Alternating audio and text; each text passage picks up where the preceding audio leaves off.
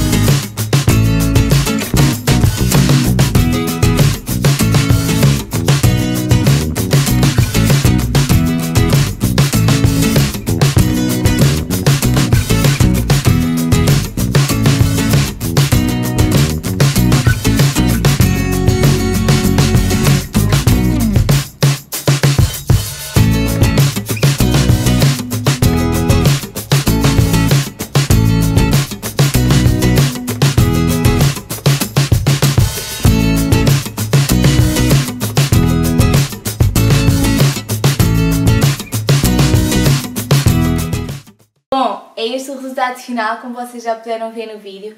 Espero que tenham gostado uh, da maneira como eu arrumo a maquilhagem. Não se esqueçam de carregar em gostei, uh, de subscrever o meu canal e seguir nas redes sociais. Um grande beijinho para vocês e vemos no próximo vídeo. Tchau!